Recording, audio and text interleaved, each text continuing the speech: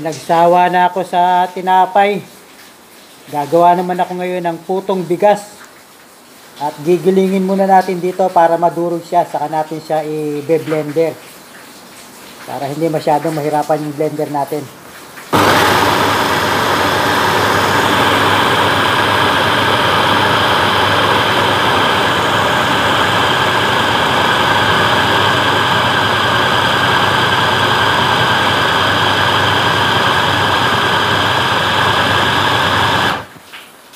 Kakusina, durog na durog na.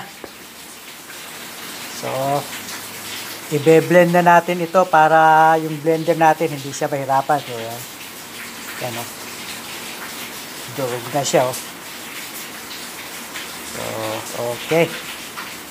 Masarap ito dahil ah, umuulan. Yan o, malakas ang ulan. Sarap nito sa mainit na salabat.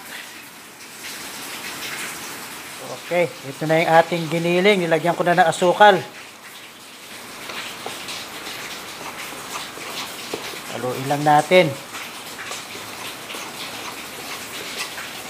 Yan, ang ganda o. Pinong-pino siya. Walang buo-buong bigas. Mix lang natin ng maigi.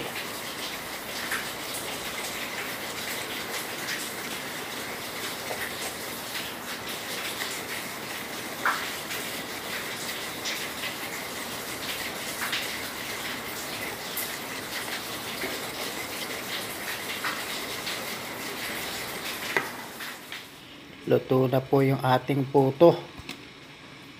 Perfect oh. Kita mo, pumuputok na. Okay.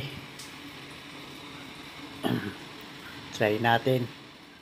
Okay. Na po yung ating ah, puto. Putong bigas. Ang ginamit kong bigas ay yung first class talaga. Yung pinakamahal na kilo ng bigas. Tikman natin. Yan o, pumuputok-putok.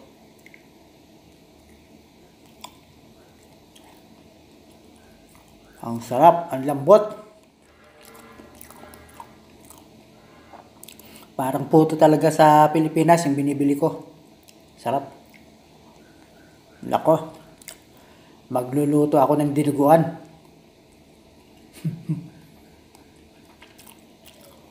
Magdidinuguan ako nito. Sarap.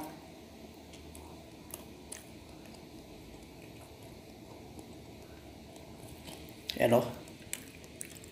Puto.